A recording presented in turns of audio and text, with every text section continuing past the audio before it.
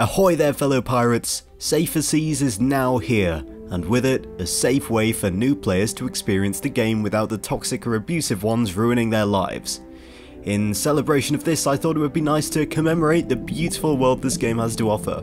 And so yes, you're about to watch a video where a man ranks every island of the game called Sea of Thieves.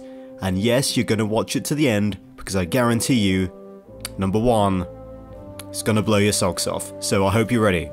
Feel free to sit in the bath and have a magnum, or whatever you usually do whilst watching YouTube. I can't believe I'm actually writing this. As I outlined in a previous video full of useless information about the map, uh, uh don't watch it now, it'll be on the end screen.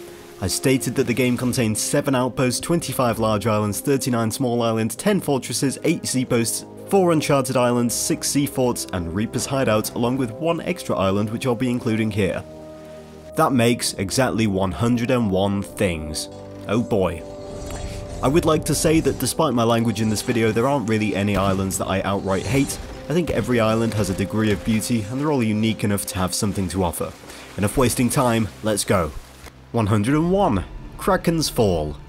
Starting with the absolute worst island in the game, I've chosen Kraken's Fall. I hate this island. It fits a Fibonacci spiral very well, and yet there is almost nothing to like about it. It has some kraken bones which are cool I guess, there's nothing left to like though.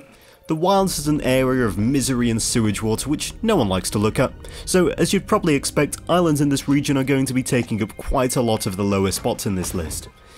Everything about this island is an inconvenience, including its location. It's been conveniently placed between Ancient Spire and the outposts of the Wilds, which gives me a reason to come here to collect pigs for merchant voyages. I don't want a reason to go to what I believe is the worst island in the game. Then we have cargo runs. Looting Penelope here decided to stand in a place that's just within the limits of convenience. Oh, well done, you stood near the shoreline. Y yes, I should be congratulating you for not standing at the peak, shouldn't I? Yes, well done looting Penelope. Thanks to you, I have to mash my ship between two rocks to deliver cargo to you. And, oh, oh, well done. My bottles have been eviscerated by the cannon you decided to stand in range of! Oh, and don't get me started on the vault here. A vault where you need a rowboat to get all the loot out of it because they put it so far inland and even the trek down to the door is insanely long. Kraken's Fall, I hate you. 100, Fetcher's Rest. We're at number 100 now and I've chosen an island in the Roar. I'm sure it will be no surprise to any of you that islands within the Roar will also occupy much of the lower portion of this list. So why have I chosen Fetcher's Rest as the worst? Well, for a start, it has a vault which is in the centre of the island, making it an absolute pain to ferry loot to your ship from. It's also just so, so boring. Its NPC Walter the Feared agrees. Here's one of his dialogue lines. I definitely never stand barefoot in the lava just to feel alive. I'm sure you'll agree that's sus. He's also completely insane, like most of the NPCs in this game, stating that he definitely hasn't eaten a whole live snake whole, and that he's never tortured his crewmate with a hot cutlass because he ate the last biscuit. 99. The Ashen Reaches at 99 I've chosen the Ashen Reaches, mostly for its location at the bottom of the map. It's a very long way, also another Roar Island with a horribly placed vault which is going to be a pain to get to. Finally, why is it so shallow? You have to park a mile away from where it looks like the shoreline is supposed to start. 98. Flintlock Peninsula. I hate Flintlock Peninsula because of how similar it looks to Fetcher's Rest. Because of the way it so heavily reminds me of such a horrible island, it takes the next spot on this list. The only thing to like here is the remains of Flintlock Bert. I don't know about you guys, but I'm very entertained by the way he was crushed to death. It's weird how he got stuck like that though. How does that happen? 97, Ruby's Fall. At 97 I've chosen Ruby's Fall. It's got quite a clever name given that Ruby Carter fell to her death here, which is awesome. And Burning Tony here is an arsonist, I respect that. Despite that, it's still an island in the Roar that is surprisingly solitary. 96 Old Faithful Isle. What a rotten, boring, terrible, awful, evil island. For a start, it's round, that's boring. If you aren't very good at reading maps, it's an extremely painful one to identify reference points to help you find treasure. 95 Flames End. Okay, this is the first small island on the list, and you know what that means, it's gonna get a lot harder to come up with things to say about them. I mean, look at it, there's, there's nothing going on there. 94, Roaring Traders. Here's the first sea post on our list, and I've put it at the bottom mostly because it's in the Roar, but it does have redeeming qualities in its characters. Eleanor is sexy and has a wicked hairstyle, but she's also very unfunny. What did the Gold Hoarder say to the shipwright? Got anything on sale? Although to be honest, I would probably pretend to laugh at that to make her like me. The Hunter's Call representative here on the other hand is horrifying, but she did give me a bit of information that solved one long-standing mystery, saying Sarek knew a handsome merman. That explains why this happened when she found out about her husband's death. If you're reading this, that means I'm dead. And staying that way. But don't be sad, because that just means I can love you forever. Always yours. Mm. Merrick.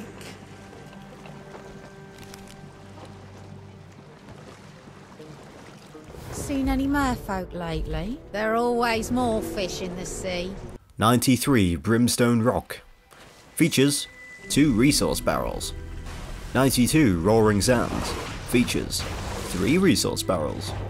91 The Forsaken Brink. This island sounds exciting, but it's just not, is it? It does feature a guy who was murdered by Stitcher Jim, but that's really the only thing of note here. 90. Morrow's Peak Outpost. I believe that Morrow's Peak Outpost is evil. The way it encourages people to explore such an awful place, I think it's reasonable to say that it's an enabler of misery. 89 Scorched Pass. I think this is probably the biggest small island of the game. It sort of looks like two islands joined together, kind of like one of my kidneys, which is like two kidneys stuck together as one big kidney. 88 Cinder Islet. Okay, enough about my medical records. This island has an underwater structure, which is the only thing keeping it slightly higher on the list. Okay, it's self-promotion time, it's relevant, I swear. If you like islands, then you'll love the String Island Network, my new Minecraft server. You're probably thinking, why would I want to join a Minecraft world which is mostly water? Answer, this is why. It's modded, build custom ships, establish bases either floating or on land, and explore beyond. And that's not all, we've got furniture, diving gear, Sea of Thieves fish, and trains. So come join and make yourself a formidable character on the String Island network. Simply join my Discord server, grab the role and apply for the whitelist to join. We also have plenty of tutorials on the server if you need help. Now, back to the video. 87 The Devil's Thirst. This has the same shortcomings as all the large islands in the Roar. It's always annoying when you want to go to these islands and you just have to wait for the volcano to stop. By the time the wait is over, you've usually naturally obtained the Skeleton Curse. The only reason I've placed this island so high up is because it serves as the entrance to the Heart of Fire, which is an awesome place, but since it's merely the entrance to it, I refuse to put it any higher. 86, Daggertooth Outpost. This outpost is rubbish, isn't it? It's just so open and sandy. Just not interesting. The only good thing here is that there's a lot of barrels all gathered together in one place near the dock, which can make it pretty easy to fill a storage crate. But if you want all the island's barrels, you'll have to go all the way around the back and it's just a bit far. My hope for this island is that it becomes a seaport like Golden Sands did, so that it can be somewhere that players are happy to spawn at. 85 Magma's Tide. I've put this island above the other small islands because it's kind of square, which is just so interesting. 84 Glowstone Key. Glowstone Key is constantly being gnawed at by the Shroud, and I really just put it so high up out of pity. 83 The Sunken Grove. Although it looks cool from above, this island is just very ugly from ground level, and there isn't much interesting about it besides the sinkhole in the middle. Thankfully it's relatively small, so you won't have to walk around here for that long. Were the colours more vibrant, the sinkhole would be very beautiful. 82 Kraken Watchtower. I've chosen this as the worst fort in the game because it's just so bland. It's especially annoying for me personally because, according to my statistics, it's the fort I've done the most by a significant margin at 15 times. 81 The Wild Treasure Store. I hate how out of the way this seapost is, it's too far north and not between any outposts. The only good thing here is that this is where I got Legendary Hunter of the Sea of Thieves, so that's pretty cool. The NPCs are of course insane as usual, real characters, one who's desperate for friends who I'll probably pretend doesn't exist, and one who thinks the other is an evil skeleton who turned his wife against him. It's like a reality TV show, and I hate reality TV. 80. Scurvy Isley. This small island is so very close to the lovely shores of plenty, it's just depressing to be at. Being able to see the nice area so clearly from the dreary area you're currently in. Or at least that would normally be the case, but yeah, it was foggy when I recorded this. 79. Paradise Spring. You're probably wondering why such a lovely island is so far down. Well, this island is a fraud. It wants us to think it's Chicken Isle, but no, no, it's Paradise Spring. You'll never be Chicken Isle. You hear me? No one is falling for your tricks, Paradise Spring. 78. Tri-Rock Isle. I don't like that they skipped Uni Rock Isle and Buy Rock Isle and instead decided to go straight to Tri-Rock Isle. I appreciate that wasn't very funny, but come on, cut me some slack. I'm describing small islands in Sea of Thieves. They're, they're all basically just the same but slightly different shapes. 77. Shiver Retreat. Shiver Retreat is in Shiver, a quiet or secluded place in which one can rest and relax. More like Shiver, an act of moving back or withdrawing. Away from this miserable island, am I right? 76 Lost Gold Fort. This is a frustrating fort to do. The vault is a pain to empty and the terrain makes it tough to hit gunpowder keg skellies which are coming towards you. I think it does have a place in the world as there should be a variety in the way you fight each fort, however I would rather not do this one. 75 Sharkfin Camp. Despite it having a worse location than Kraken Watchtower, I've ranked this fort higher because it has a cannon facing inland, which is useful for defeating the boss. 74 Sharktooth Key. This island resembles an anchor, which I think is pretty cool. Or is it a shark tooth? Probably the latter, given the name. 73 Lonely Isle. You're probably wondering why there's an island in the shores of plenty so far down on this list. And the answer is this. Just don't like it. 72 Tribute Peak. Maybe it surprises you that I have such a unique island so low, but I do find this place very disappointing. When you hear of a place called the Shores of Gold, you expect gold sands, tropical beauty with thick vegetation and stone structures from an ancient people. And you do get one of those admittedly, unfortunately the island is more akin to the wilds than anything truly unique. It's big and it's mysterious, but it doesn't feel very special. The Tall Tale adventure itself is quite enjoyable, but aesthetically, this island is just not what it could have been. I also find this island a little frustrating to get around, it just takes far too long to travel across it. 71 Marauder's Arch. Marauder's Arch is a cool looking island, but the number of times where I've been sunk somewhere like in the shores of plenty and respawned here, despite it being all the way in the corner of the map, enrages me. Even worse is the fact that the spot where your ship spawns is in range of a skeleton cannon. I do like some things about it though. The mystery of what appears to have been a skeleton fort at some point is interesting. The ferryman's grave is in a very cinematic spot, and the dead guy who died because he overdosed on banana is funny. 70. Blackwater Enclave. Uh, uh, what am I doing again? What, what even is this? I mean, there's sand. Sand on a, a rock. Big rock. 69. Black Sand Atoll. Uh, I don't even, I don't even know. It, it's really close to the Wild Treasures store. That's interesting, isn't it? 68 Cursewater Shores. Donut shaped island, what's not to love? Well, besides the active volcanoes and dim surroundings, I mean. 67 Traitor's Fate Fortress. On to Traitor's Fate Fortress, which is the worst fort. As you can see, since the captaincy update, I've done this a whopping one time. It's got those classic wilds aesthetics, so it's not desirable to go out of your way to come here. 66 Plunderer's Plight. Firstly, Watch me hit this wicked snipe whilst gathering footage for this video. No, hang on. Just... Just, uh... Hang on. Don't try lucky. Just bear with me.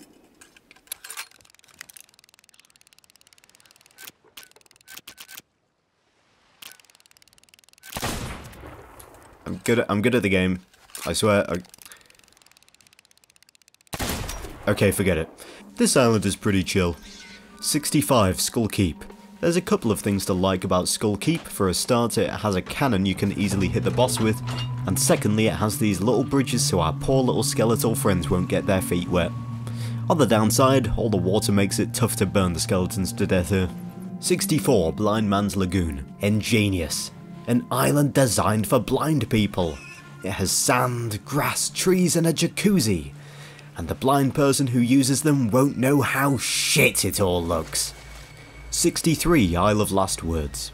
This island saw Shipwreck Bay, a big island surrounded by small rocks and just inverted it, which is based in red pill behaviour in my Sigma opinion. Keep up the grind set Isle of Last Words. 62 Shipwreck Bay. At first glance this island is pretty horrible. A cargo run NPC who stands in range of a cannon, a load of rocks surrounding it to crash into, but I think there's a lot to like here. Firstly, Grog Soaked Ed. The NPC here is literally drunk 24 7, so I'll forgive him for standing somewhere stupid. He also makes a joke about a man's disability, so a well-respectable gentleman all round. There's a couple of easter eggs too. The Black Wyche and Pendragon are both from the video game Black Wyche from the Pendragon series of games. These games were published by Ultimate Play the Game, which later evolved into Rare. I've never played it, but I'm sure all 5 pixels of Black Wyche are excellent.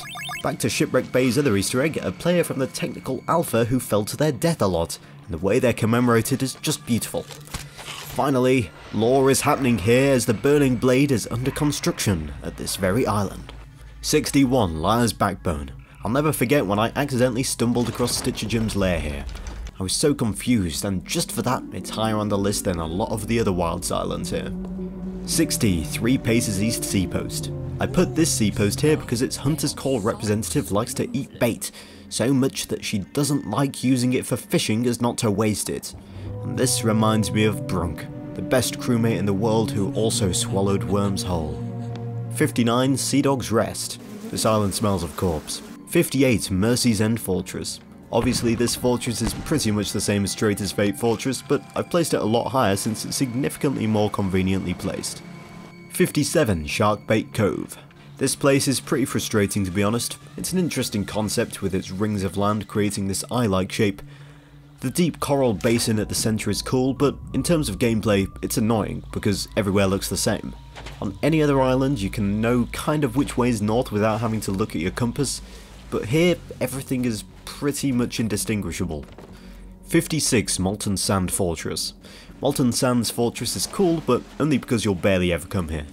I can only recall doing this fort about three times or so. Fighting waves of skeletons as an active volcano erupts is quite an experience. The way that the building is just in the middle and leads to this huge cavern is honestly awesome. Unfortunately, it's not a practical fort with the water being shallow and it being squeezed into the corner of the map. But in terms of pure coolness, it's pretty good. 55 Plunder Outpost. Plunder Outpost is just a little bit boring to be honest. It's got a massive rock and that's all there is to it. On the bright side, it's fairly easy to create up all the barrels and I love the charred skeleton easter egg. 54 Snake Island. Firstly, it should be called Snake Islands, not Snake Island. Secondly, snakes are scary, not misunderstood, they're out to get you. Also, this is home to one of the most ineffective island cannons of the game. What there is to like about this island is its gunpowder tunnels and nice rock paintings. 53 Fool's Lagoon. This is probably the most forgettable island in the Ancient Isles. 52 Crooked Masts. This island is unique in a surprising number of ways. Firstly, it's probably the smallest large island in the game, on par with Snake Island. Secondly, it has no beach shorelines, only rocks. Finally, it's probably one of the most recognisable islands in the game from a distance.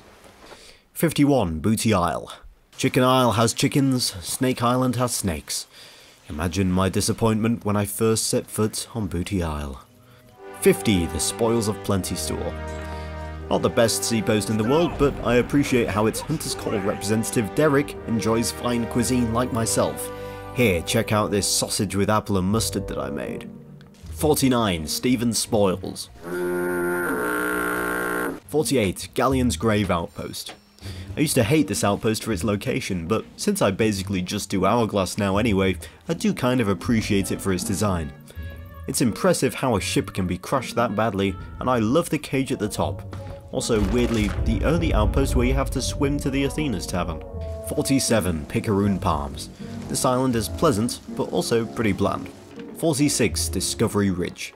Not a particularly interesting island in my opinion, but I do like the art of the trickster puzzles. Besides that, I don't feel there's much to say about it. 45. Devil's Ridge. Though the islands in this part of the list are very beautiful, there aren't really any areas of them which I find truly stunning.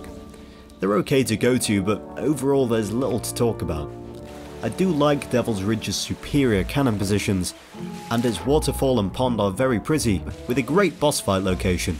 Also, its vault opens sideways, which is cool I guess, but there's nothing to make it truly stand out to me. 44. Lone Cove. Lone Cove does have a certain uniqueness to it. It's as close to a Minecraft super flat as you could find in a Sea of Thieves island. No shame in being flat, just not quite as good, is it? 43. Crooks Hollow. Some people say they feel uneasy at this island. Some claim it to be haunted. I can't say I've ever gotten that sense here personally. I have to say I enjoy this island's role in the legendary storyteller tall tale with its distinct bridges and cave network. For the most part this island is basically one big plateau, rising out of the sea. 42. Ancient Gold Fortress. Aesthetically, I think the sea forts in the ancient isles are beautiful with their thick vegetation. These ancient abandoned structures tell a great story, but in terms of location and the number of barrels to loot, they just aren't it. 41. Old Brinestone Fortress. I rank this one above the other because Old Brinestone is a more imaginative name than Ancient Gold.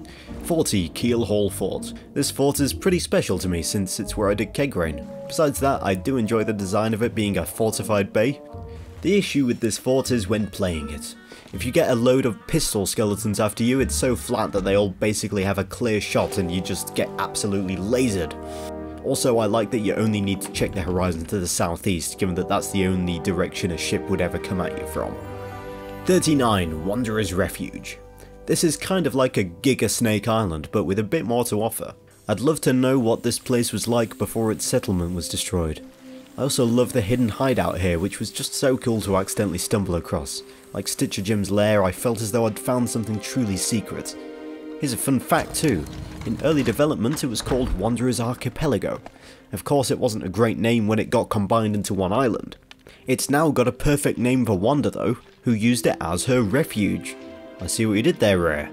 Also, some cool early islands are Kraken's Fall, which I prefer to the actual Kraken's Fall, with its one big skeleton chilling on a small island. Pause the video if you want to see any of the other early development islands, there's some really interesting stuff in there. Some bad, some I wish we could have seen in the game. 38. Crescent Isle. Having an island in the shape of a crescent moon is a great idea, and from above I think this is one of the best looking islands. 37. Sailor's Bounty. Being right in the very northwest, it's a pain to reach Sailor's Bounty, and from the surface perhaps it leaves a bit to be desired, besides the pirate portraits that can be found here. Diving deeper though, we can discover its amazing network of traps and tunnels, culminating in its boss room. 36. Plunder Valley. If it wasn't for Glitterbeard, this island would honestly be a lot lower. The fact that the team went to such lengths to commemorate someone who they liked very much is heartwarming. And on top of that, the event itself is majestic and memorable. And it massively improves a bad island. 35. Thieves Haven. The first island to be discovered by the Pirate Lord, this place is iconic, and it has layers like a cake. Two layers to be exact. This is just an extremely cool design for an island. Unfortunately, I would rather do a riddle in Chernobyl than have to do another riddle in Thieves Haven. I might regret saying that when I'm ripping out a tune on the accordion next to the elephant's foot, but my spirit believes it to be true. 34 Barnacle Cay. This island looks like someone took a munch out of it and that's funny. 33 Salty Sands. This island sounds like a Fortnite location. 32 Sandy Shallows. It's pretty shallow here to be honest, but I still like it. 31 Smuggler's Bay. This is the biggest island in the main map besides from Tribute Peak, and it's got it all. Cliffs, really really weirdly steep land, sand, grass, cave, bridge, abandoned structures, secret camps, easter eggs and a wicked big bay. It's all going on here. 30. The Crow's Nest Fortress. What doesn't Smuggler's Bay have though? That's right, a pond. And that's why the Crow's Nest Fortress is better. Also, I like the challenge of trying to land on its Crow's Nest platform. 29 N13. Just a regular uncharted isle at first glance, but surrounded with mysteries and history. A strange stone tablet, the wreck of the Magpie's glory, and an ancient vault hidden beneath. Quite a fascinating little island. 28 Rumrunner Isle. This small island has the amazing ability to erase skeleton galleons from existence. 27 Twin Groves. For some reason I've fought a massive army of skeletons on this island not once, but twice. And that's not happened anywhere else. 26 North Star Seapost. This is the home of our based astronomer friend Suds. Unfortunately, it also has Merrick's horrible wife. Hello, love. 25 Cannon Cove. The first island we ever saw featuring in the game's reveal trailer. It's undeniably iconic and extremely recognisable by its silhouette. I just hate getting any X marks the spot maps which mark the treasure as being in this kind of area. 24 The Fort of the Damned. I don't like the wilds of the Roar because those are regions that you may find yourself exploring and voyaging in a lot and to me that means they should be pretty. However, a place like the Fort of the Damned so heavily linked to the Sea of the Damned, almost like a full-on gateway, that should absolutely be reflected in its aesthetics, and that's what you get here. Shrouded in a permanent fog and feeling very haunted indeed, it's got the perfect aesthetics for such a place. 23 Imperial Crown Fortress. The forts in the Shores of Plenty are a little more plentiful. From what I can tell they have more barrels which is great for stocking up on supplies. They aren't as visually interesting but their utility makes them great. I've ranked this one lower due to its slightly less convenient location on the map. 22 Hidden Spring Keep. This is one of the prettier sea forts with that great tower overlooking a spring. 21 The Finest Trading Post. Out of all the trading posts I'd say this one is definitely the fanciest one. I've mostly ranked it so high for its model ship, which is one of my favourite Legend of the Sea easter eggs. It's a reference to a model ship replica made by a streamer for the game's first birthday, which is a nice thought. The NPCs are good too, one being permanently seasick and the other being Merrick's son, who is also a kind of community creation. 20 Cutlass Cay. It's a cute small island in the shape of a blade, so much to love. 19 Lookout Point. I think Lookout Point is a lovely little island with its lower portion and higher portion. Sort of like a large island, but mini if that makes any sense. The objects left behind here tell a story too. Perhaps one of someone who came here to look out to sea, in a fairly secluded area of the map. It feels peaceful here. 18 Boulder Cay. First off, the name fits. It does indeed have a large boulder. But I've ranked this island so highly because of the wreck of the Morning Star off its coast, one of my favourite ships in the Sea of Thieves lore. I adore the sail design and I use it myself. A ship that was broken and repaired so many times, finally laid to rest here. 17 Royal Crest Fortress. Definitely the most conveniently placed sea fort in the game, therefore the highest ranked. 16 Sanctuary Outpost. It's always a pleasure to spawn here. Definitely the best located outpost in the game for a start, being situated in the northwest of the map, and this is good because it's a lot more likely that wherever you're going, you'll be sailing with the current of the waves, i.e. southeast. Additionally, it's very beautiful and full of easter eggs, the best among them being this banana barrel which is full of... bananas. It also has a small island which I swear always has loads of chain shots which I call Chain Shot Island. 15 Chicken Isle. Get this, it's in the shape of a chicken leg. And it's got schmickens. And a picture of a cat dancing with chickens. 14. Sailor's Knot Stronghold. This is certainly the most picturesque fort in the game.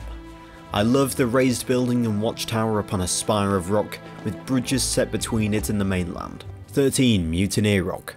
This may seem like a strange choice, but more than any other island in my list, this is here for personal reasons. This is the first island I ever ventured to after leaving the outpost, and set off on my journey in the Sea of Thieves.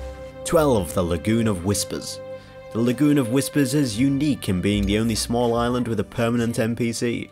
It's of course a great place to get tattered up by Umbra, and she also offers laser removal. 11. Ancient Spire Outpost. This is by far the coolest outpost, with its tavern situated on top of its spire overlooking the buildings and the sea below.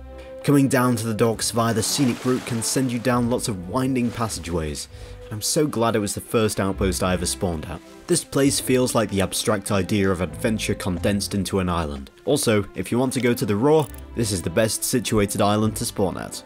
There's so much to love about this place. If I had to live on an island in the Sea of Thieves, I think it would be here. We're at the top 10 now, well done for making it this far, thank you. Before I move on, I want to quickly advertise my guild. I desperately need active members to help level it up to the higher distinctions, so if you think you could be an active member, then follow the link to the application form in the description and I'll add you if I can. Now, on to the top 10. 10. Castaway Isle. If I wasn't allowed to live on an outpost, I'd probably chill on Castaway Isle. It's already decked out with all the stuff a castaway could ever need after all. and in my spare time I could watch ships fighting over the Fort of the Damned. I could also look at this ancient stone archway, and this skull here reminds me of what happened to my father. 9. The Glorious Sea Dog Tavern. The Glorious Sea Dog Tavern is kind of like a mega sea post, isn't it? It's like a big rock, but with lots of docks and a huge building, and horrible shopkeepers. Come back soon. Next year we'll be fine. It's a great place to buy supplies if you're low on them, which can often be convenient with it being so close to the middle of the map. And another thing that makes this place so unique is its parkour course, which is a lot of fun to race up. And since it's not really a proper island, you can take your mermaid if you fall. Also, it's uncharted, which makes it feel special. Finally, this is what remains of the awesome arena mode. And it's nice to have somewhere to remember it by. 8. Mermaid's Hideaway. This skeleton swam all the way to Mermaid's Hideaway and then died on the beach, which sucks. He must have been stupefied by the pure beauty of it. The stone pillars which have to be cannoned onto, there's a pond, and of course, Five Paces Frank chills here too. On top of that, this place has deep lore relating to the merfolk, and diving down here, you'll discover this great hidden area. One might even call it a mermaid's hideaway. 7. Rapier Cay. This is the smallest island in the game by my calculations, although according to Merfolk's Lullaby, Boulder Cay is smaller, but like shut up, I'm saying Rapier Cay is smaller. Anyway, I think it's lovely and cozy and it makes X marks the spot maps really really easy. And of course, it has little patches of grass which I wish I could sit on IRL. 6. Reaper's Hideout. It's ugly, very ugly, but how could I deny somewhere that's brought me so much profit? A 2.5 times bonus on everything, uh, yes please. Also, Wicked Mines Underground. Would be nice if Flameheart could show his face, but that's okay, he's shy. Back on the surface, it's well fortified, and I love that when they removed the sandbar which a billion players must have crashed into, they left a couple of shovels down there. Must be hard to shovel sand underwater. On the western island you can find this book, which actually has some very deep lore in it, which I was not ready for. Unfortunately, I need to move on, you'll have to check it out yourself. 5. Old Salts Atoll. This is my favourite small island in the game, there's a lot going on on it. The shipwreck, the statues, it's a perfect little place. I love the story it tells and its compact design makes it very pretty. I just wish it weren't so solitary so it could be admired more often. 4. K9. Does it need explanation? The only medium-sized island that's not a skeleton fort, completely uncharted, turquoise waters, but half the island is classed as being in the wilds. That's great because that means you can catch wild splashes here without having to look at sewage water. Also, donut shaped, always a plus, with a shipwreck in the middle and a secret passage to a skeleton throne. You'll never see those awful skeletons or ocean crawlers here, so it's really peaceful. And that's not all, there's basically always a rowboat or a storage crate here. And one last thing, it has a dog, because it's on map square K9, and that's hilarious. I mean like, not laugh out loud hilarious, but like, more huh, that's clever, kind of hilarious. Okay, bye dog, I have to move on to number 3. 3. Port Merrick. Although I of course miss Golden Sands, Port Merrick is much more special and distinctive. After all, from a distance, Golden Sands and Sanctuary were somewhat indistinguishable for one whose eyes aren't so keen. I'm so glad the community decided to save this place, because were it a dark, dingy Reaper outpost, it would not be so high on the list. I love the stone seaport structures, the tavern with its cellar and stove with the shops surrounding it. I also love the garden and the towers. It's beautifully designed and all works incredibly well to create this sense of grandeur in a modernising world. 2. Old Sailor's Isle Nestled at the edge of the shroud lies Old Sailor's Isle. Utterly isolated in its Silurian plain, transcending the boundaries of imagination, this place is one of an impossible beauty. This paradisal heaven, shaped like a majestic lobster, unfolds its exquisite beauty beneath an eternal sunlit sky, where the golden glow of perpetual daylight bathes the landscape in a warm, ethereal embrace. Palm trees sway rhythmically, their emerald fronds whispering secrets of a far-off place carried on the tropical breeze on shores adorned with pristine ivory white beaches. Impossibly perched atop the island lies the magpie's glory, now sat frozen in time, a poignant reminder of nature's wrath, and a peaceful passage of time, and within it, undiscovered riches to find. Deep within the island lies a cave, at the heart of which is a weathered rowboat, telling of a deep nautical history here. A sailor could dwell in this cave for hours listening to the symphony of lapping waves against the cave walls, before bringing the long abandoned rowboat away on a new odyssey. Old Sailor's Isle is no mere tropical haven, it is a sanctuary of dreams. Celestial masterpiece where reality and fantasy intertwine, leaving those who set foot on its shores with tears of wonder and grandeur for the sublime beauty that exists in this timeless corner of the world. And to the north, one can sense adventure beckoning them on to undiscovered wonders in the Sea of Thieves. 1. Brian's Bazaar. You're probably thinking this is a strange choice for number 1, but what I'm about to divulge to you will blow your mind. Here, look at it on the map. Now watch. Brian. Ring any bells? That's right. It's the name of the talking dog from Family Guy supplanting Brian's Bazaar in its number one spot. Thank you for watching to the end everyone. Don't forget to join the Minecraft server, apply to the guild, and watch more of my content appearing on your screen now. As always, safe voyages everyone.